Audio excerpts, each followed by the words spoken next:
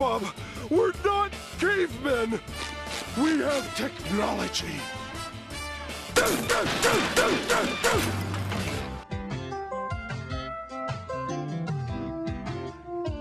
Before you send that Snapchat, imagine that your parents followed you on Snapchat. What would they think?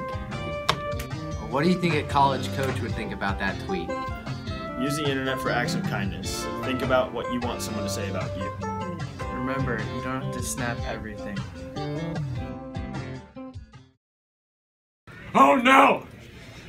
I spilled my straws.